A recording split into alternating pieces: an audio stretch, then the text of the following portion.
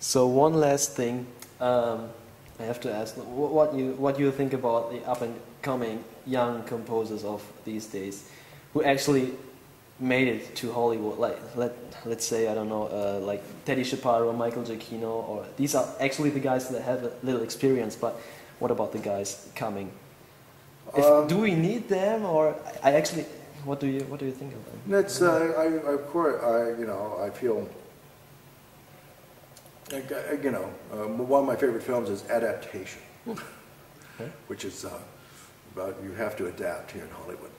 I, I, uh, I feel hopeful for them. I think that they're very musical. Uh, I hope they have the right opportunities to develop that musicality.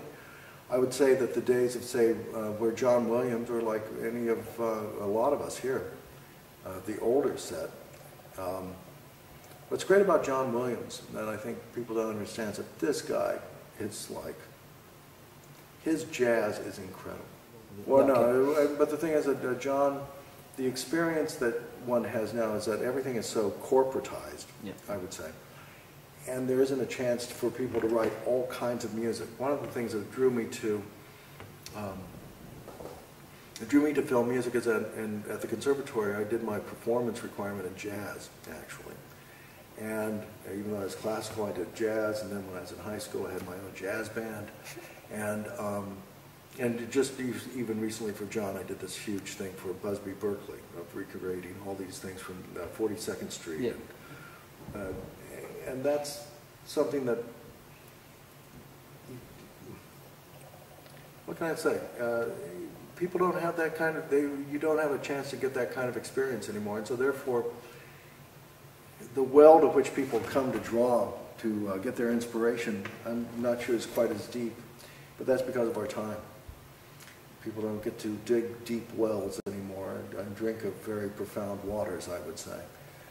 And so, what do I think of the young guys? I hope that uh, the movie business turns around and lets them spread their wings a little bit more um, ambitiously. And so that things are uh, true expressions. Because it's very, because, I mean, a number of people have always said film music is pastiche. And it can be. But when it's a real expression, it's, it can be quite powerful. And I hope that that, uh, that turns around because uh, certainly the days of um, the score that's operatic, the score that is, they have a theme, they have a theme highly thematic, highly developed, and where the music helps drive the picture. It's become, they now want music that doesn't help drive or inform the audience of what to feel. They primarily want audio, they want music that propels the movie forward so that the audience doesn't fall asleep. And my question is, where does music end up in that case? But there have been several, like, uh, always there are dark ages in, um,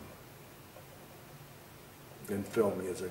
I mean, I'll, I'll also go back to, to just one thing I will say is that what's also bad, no, not what's also bad, what can be bad today that I worry about is because performances are getting worse in film music by the orchestra.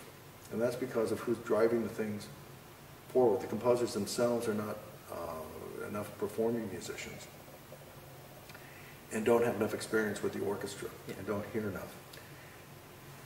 That I'm sometimes appalled by some of the performances that our orchestras turn in. It, it's generally not the orchestra's fault. They'll try to change it. But, uh, you know, no, I mean, Hollywood is going through an, an era of transition, and I'll be curious to see where it ends up. I know it has to be someplace good because people don't change, and they're always great people. Great people form the times. But um, it is, we are coming to the end of an era in which um, John Williams is uh, the culmination. So, as you can see, I can talk. Whatever. But I thank you for that kind of little interview. No, That's it. You're through. Okay. no thanks, Alex. Yeah. Thank you No, too. no, it's my pleasure.